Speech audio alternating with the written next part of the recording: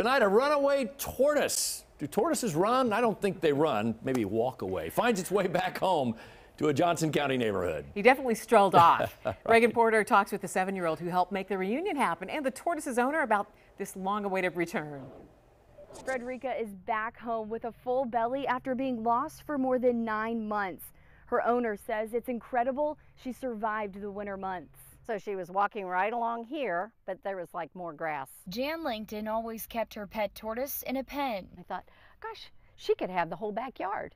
So I took her and I tried to put her through every baluster sideways and that way she couldn't get out. Not possible. Fredericka, the 17 year old tortoise, took her newfound freedom too far and traveled outside the fence. I got that sick feeling in the pit of my stomach. Langton took to Facebook and posted flyers throughout the neighborhood. Lots of people offered help, but couldn't put their finger on the right reptile. And they go, Oh, is this her? And they're holding a snapping turtle. And I'm like, no, you can put the snapping turtle down now. Another neighbor brought over a bloodhound to search the woods. The search turned up empty until nine months later. I found it. Henry Miles and his dad found Fredericka. I said, Dad, there's the tortoise.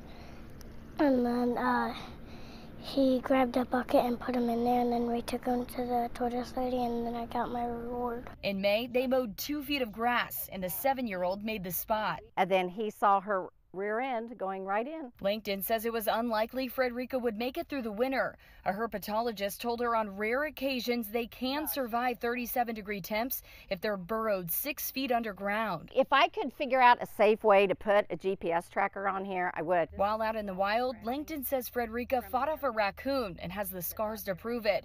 She has brighter days and lots of blueberries ahead. Russian tortoises live to be 100. Fredericka is back home and Miles got the $400 reward.